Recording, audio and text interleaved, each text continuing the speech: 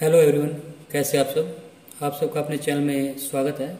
आज मैं आपको एक कहानी सुनाने जा रहा हूँ। यह कहानी पंचतंत्र की कहानियों में से एक कहानी है, जिसका टाइटल है घमंड का सिर नीचा।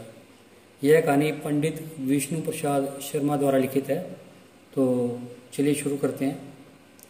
एक गाँव में उज्ज्वलक नाम का एक बढ़ई रहता था। वह बहुत ही गरीब था। गरीबी से तंग आकर वह गाँव छोड़कर दूसरे गाँव के लिए चल पड़ा। रास्ते में घना जंगल पड़ता था। वहाँ उसने देखा कि एक ऊँटनी प्रसव पीड़ा से तड़फड़ा रही है। ऊँटनी ने जब बच्चा दिया तो वह ऊँट के बच्चे और ऊँटनी को लेकर अपने घर आ गया। वहाँ घर के बाहर ऊँटनी को खूंटी से बांधकर वह उसके खाने के लिए पत्तियों और शाखाओं को काटने वन में चला गया। ऊँटनी ने हरी हरी कोमल कोपले खाई। बहुत दिन इसी तरह से हरे हरे पत्ते खाकर ऊँटनी स्वस्थ और पुष्ट हो गई। ऊँट का बच्चा भी बढ़कर जवान हो गया। बढ़ई ने उसके गले में एक घंटा बाँध दिया, जिससे वह कहीं खो न जाए। दूर से ही उसकी आवाज़ सुनकर बढ़ई उसे घर ले आता। ऊँटनी के दूध से बढ़ई के बाल बच्चे भी पलते थे। ऊँट भार ढोने के काम भी आने लगा।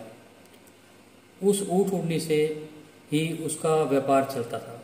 यह देख उसने एक धनिक से कुछ रुपया उधार लिया और गुज्जर देश में जाकर वहाँ से एक और ऊँटनी ले आया। कुछ दिनों में उसके पास अनेक ऊँट उठनियाँ हो गई। उनके लिए रखवाला भी रख लिया गया। बढ़ई का व्यापार चमक उठा। घर में दूध की नदियाँ बहने लगी। शेष सब तो ठीक था किंतु जिस ऊँट के गले में घंटा बंधा हुआ था, वह बहुत गर्वित हो गया था। वह अपने को दूसरों से विशेष समझता। सब ऊँट वन में पत्ते खाने जाते तो वह सबको छोड़कर अकेला ही जंगल में घुमा करता। उसके घंटे की आवाज़ से शेर को यह पता लग जाता कि ऊँट किधर है।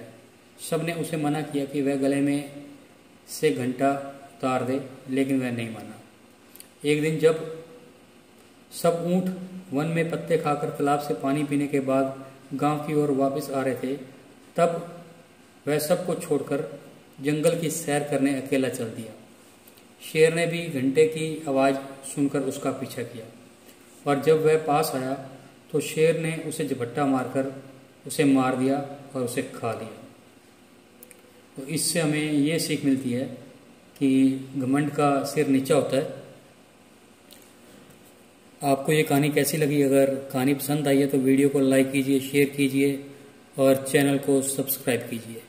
बेल वाला बटन ज़रूर दबा दें ताकि हम ऐसी कोई और कहानी डालें तो उसकी नोटिफिकेशन आपको मिल जाए। Thank you.